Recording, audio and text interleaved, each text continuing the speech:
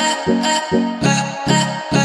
दोस्तों, अगर आप भी रोहित शर्मा और विराट कोहली को दुनिया का सबसे खतरनाक खिलाड़ी और कप्तान मानते हैं तो हमारी इस वीडियो को लाइक ज़रूर खींचेगा दोस्तों, पाकिस्तान के खिलाफ यादगार और ऐतिहासिक जीत के बाद भी टीम के हेड कोच राहुल द्रविड़ गुस्से में अमेरिका के खिलाफ मुकाबले से पहले टीम इंडिया की बदल के रख दी पूरी प्लेइंग इलेवन दो खिलाड़ियों को बाहर का रास्ता दिखाकर ऐसे खिलाड़ियों को मौका दिया है, जिसे देखकर तो अमेरिका की टीम अभी से थर थर कांपना शुरू कर दी। तो आखिर राहुल राहुल द्रविड़ ने शिवम दुबे और ऋषभ पंत को बाहर का रास्ता दिखाकर किन खिलाड़ियों को दिया है मौका? क्यों इन दो खिलाड़ियों को राहुल द्रविड़ ने टीम से कर दिया बाहर? अब कैसी नज़र आ रही है द्रविड़ के द्वारा बनाई गई नई टीम ये तो हम आपको ज़रूर बताएँगे, लेकिन उससे पहले आपको क्या लगता है? रोहित शर्मा इस बार भारतीय टीम को ट्रॉफी दिला पाएँगे या नहीं? कॉमेंट में ज़रूर बताइए। दोस्तों, भारतीय टीम ने टी वर्ल्ड कप में पहले आयरलैंड और अब पाकिस्तान को करारी धूल चटाकर उनके घमंड को चकनाचूर किया, बल्कि पाकिस्तान को वर्ल्ड कप से बाहर का रास्ता दिखा दिया। पाकिस्तान के खिलाफ टीम इंडिया ने छह रनों से ऐतिहासिक जीत दर्ज की। आपको बता दें, इस मैच के रियल हीरो रहे जसप्रीत बुमराह। उन्होंने एक नहीं, दो नहीं, बल्कि पाकिस्तान के तीन बल्लेबाजों को पवेलियन का रास्ता दिखाकर मैच को पलट दिया था और टीम इंडिया को कभी ना भूलने वाली जीत दिला दी। इस मुकाबले में भारत ने जीत तो ज़रूर दर्ज की, लेकिन किसी भी खिलाड़ी का प्रदर्शन कुछ खास नहीं था। वहीं शिवम दुबे और ऋषभ पंत से लोगों को काफ़ी उम्मीदें थी, लेकिन इन सभी खिलाड़ियों ने उम्मीदों पर पानी फेर दिया। जिसके बाद टीम के हेड कोच राहुल द्रविड़ इन खिलाड़ियों के प्रदर्शन से काफ़ी नाराज़ थे और गुस्से में आकर उन्होंने इन दोनों खिलाड़ियों को टीम से बाहर का रास्ता दिखा दिया और गुस्से से आग बबूला होकर काफ़ी फटकार लगा दी। उसके बाद द्रविड़ ने इन दोनों खिलाड़ियों की जगह पर रिंकू सिंह, संजू सैमसन को अमेरिका के खिलाफ होने वाले मैच के लिए टीम में शामिल कर लिया है। आपको बता दें, भारतीय टीम का अगला मुकाबला 12 जून को अमेरिका के साथ में खेला जाना है। इस मुकाबले के लिए भी करोड़ों क्रिकेट प्रेमी बेसब्री से इंतज़ार कर रहे हैं, क्योंकि अभी तक अमेरिका का प्रदर्शन वर्ल्ड कप में काफ़ी शानदार रहा है, और ये नई टीम है, इसीलिए टीम इंडिया को हल्के में बिल्कुल भी इसे नहीं लेना होगा। कई चुनौती मिल सकती है, इसलिए द्रविड़ ने अहम फैसला लेते हुए नई टीम का ऐलान किया। तो चलिए, हम आपको द्रविड़ के द्वारा बनाई गई नई प्लेइंग इलेवन बताते हैं। उन्होंने किस किस खिलाड़ियों को टीम में जगह देकर नई टीम तैयार की, और इसी टीम के साथ रोहित शर्मा अमेरिका के खिलाफ मैदान पर उतरेंगे। जी हाँ टीम के हेड कोच राहुल द्रविड़ ने ओपनिंग करने की ज़िम्मेदारी रोहित शर्मा और विराट कोहली के कंधों पर रखी है। द्रविड़ को इस ओपनिंग जोड़ी पर पूरा भरोसा है। भले ही कोहली आयरलैंड और पाकिस्तान के खिलाफ कुछ खास नहीं कर पाए, लेकिन सबसे अधिक भरोसा कोहली पर जताया जा रहा है। वही नंबर तीन पर राहुल द्रविड़ ने सबसे बड़ा बदलाव किया। ऋषभ पंत को प्लेइंग इलेवन से बाहर का रास्ता दिखाकर उनकी जगह पर टीम में संजू सैमसन को मौका दिया है। उनका मानना है की ऋषभ पंत कुछ खास प्रदर्शन नहीं कर रहे हैं, इसलिए एक बार मौका संजू सैमसन को भी दिया जाए। नंबर चार पर बल्लेबाजी करते हुए टी के नंबर वन खिलाड़ी सूर्य कुमार यादव नज़र आएँगे। इनका भी बल्ला आयरलैंड और पाकिस्तान के खिलाफ कुछ नहीं कर पाया, लेकिन हर किसी की उम्मीद इन पर टिकी हुई है। राहुल द्रविड़ ने नंबर पाँच पर सबसे बड़ा बदलाव किया है शिवम दुबे को बाहर निकालकर। रिंकू सिंह को टीम में शामिल किया और इन पर सबसे अधिक भरोसा जताया। वही नंबर छह पर हार्दिक पांड्या नज़र आने वाले हैं। इन्होंने आयरलैंड और पाकिस्तान के खिलाफ अपनी खतरनाक गेंदबाजी से मैच को पलट दिया। इसीलिए राहुल द्रविड़ इन पर सबसे अधिक भरोसा जताते अमेरिका के खिलाफ प्लेइंग इलेवन में इनको रखे हुए हैं। राहुल द्रविड़ ने सबसे बड़ा बदलाव स्पिन डिपार्टमेंट में किया है। जडेजा को प्लेइंग इलेवन से बाहर का रास्ता दिखाकर उनकी जगह पर कुलदीप यादव को टीम में शामिल किया गया और उन पर सबसे अधिक भरोसा जताया गया है। वहीं कुलदीप का साथ निभाते हुए अक्षर पटेल नज़र आएँगे। अक्षर पटेल ने भी शानदार गेंदबाजी का नज़ारा दिखाया और अपना अहम योगदान भारत को दे रहे हैं। वहीं तेज गेंदबाजी डिपार्टमेंट में राहुल द्रविड़ ने जसप्रीत बुमराह और शुदेव सिंह और मोहम्मद सिराज को रखा हुआ है। इन तीनों की खतरनाक गेंदबाजी के आगे बड़े बड़े बल्लेबाज घुटने टेक बैठे और इसी उम्मीद के साथ राहुल द्रविड़ ने इन तीनों को अमेरिका के खिलाफ प्लेइंग इलेवन में रखा हुआ है। द्रविड़ के द्वारा बनाई गई नई प्लेइंग इलेवन इसी तरीके से है और रोहित शर्मा इसी के साथ अमेरिका के खिलाफ उतरने वाले हैं। तो दोस्तों, आपको क्या लगता है, भारतीय टीम और अमेरिका में कौन सी टीम जीतने वाली है? कॉमेंट में ज़रूर बताइए। दोस्तों, भारतीय टीम ने टी वर्ल्ड कप में पहले आयरलैंड और अब पाकिस्तान को करारी धूल चटाकर उनके घमंड को चकनाचूर किया।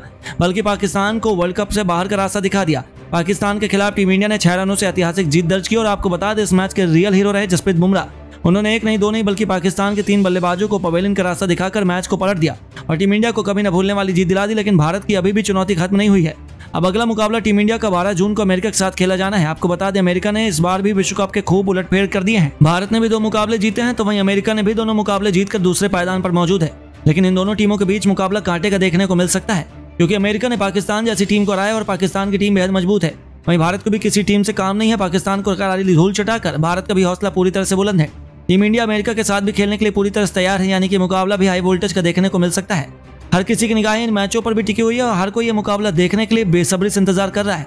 लेकिन इस मुकाबले से पहले अमेरिका के कप्तान मोनांग पटेल और नीतीश कुमार घमंड में आ गए और भारतीय टीम को ही हारने की खुली धमकी दे दी। वहीं उनका यह अजीबो गरीब बयान और धमकी सुनकर विराट कोहली, जसप्रीत बुमराह भारतीय टीम को डिफेंड करने के लिए सामने आए।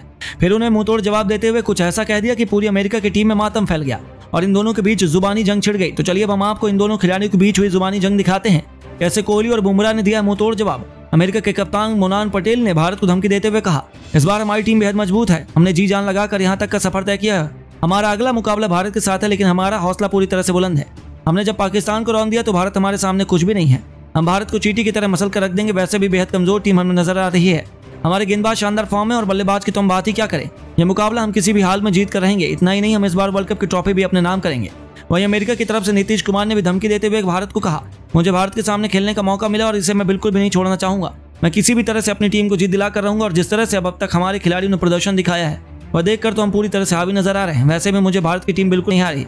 हमारे गेंदबाज किसी भी हाल में भारतीय गेंदबाजों को घुटने टिकवा देंगे। वहीं मोनांग पटेल के अजीबोगरीब बयान को सुनकर विराट कोहली ने जवाब देते हुए कहा, वाह, क्या बात है। अब पाकिस्तान के बाद अमेरिका के भी मुँह खुलने शुरू हो गए हैं। बैट क्या पकड़ना सीख लिया कि चैंपियन बनने का ख्वाब देखने लगे? यह तो वक्त ही बताएगा कि कौन किस पर हावी है। दूध का दूध, पानी का पानी हो जाएगा। हमें पाकिस्तान मत समझना, हम भिभो भिभो कर मारते हैं। इस बार की वर्ल्ड कप ट्रॉफी हमारी है। किसी भी हाल में हम जीत कर रहेंगे। हमारे सभी खिलाड़ी शानदार फॉर्म में हैं।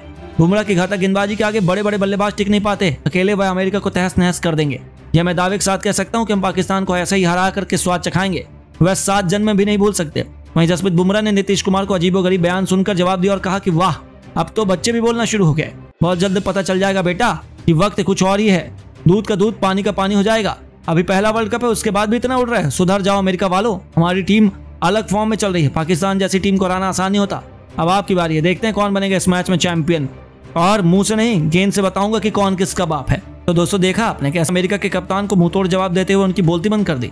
बल्कि उनके देश में तो हाहाकार मचा दिया। लेकिन दोस्तों आपको क्या लगता है, भारतीय टीम इस बार वर्ल्ड कप की ट्रॉफी जीत पाएगी नहीं? नीचे कमेंट करके ज़रूर बताइए। तो पाकिस्तान के खिलाफ यादगार और ऐतिहासिक जीत के बाद भी टीम के हेड कोच राहुल द्रविड़ गुस्से में अमेरिका के खिलाफ मुकाबले से पहले टीम इंडिया की बदल के रख दी पूरी प्लेइंग इलेवन एक नहीं, दो नहीं, बल्कि तीन खिलाड़ियों को बाहर का रास्ता दिखाकर ऐसे खिलाड़ियों को मौका दिया, जिसको देखकर अमेरिका की टीम थर थर कांपना शुरू कर दी। तो आखिर राहुल द्रविड़ ने शिवम दुबे, मोहम्मद सिराज और रविंद्र जडेजा को बाहर का रास्ता दिखाकर किन खिलाड़ियों को दिया है मौका? क्यों इन तीनों खिलाड़ियों को राहुल द्रविड़ ने टीम से कर दिया इन तीनों को बाहर? इन तीनों के बदलावों के साथ अब कैसी नज़र आ रही है द्रविड़ के द्वारा बनाई गई नई टीम? ये तो हम आपको ज़रूर बताएँगे, लेकिन उससे पहले आपको क्या लगता है? रोहित शर्मा इस बार भारतीय टीम को ट्रॉफी दिला पाएँगे या नहीं? कॉमेंट में ज़रूर बताइए। दोस्तों, भारतीय टीम ने टी वर्ल्ड कप में पहले आयरलैंड और अब पाकिस्तान को करारी धूल चटाकर उनके घमंड को चकनाचूर किया, बल्कि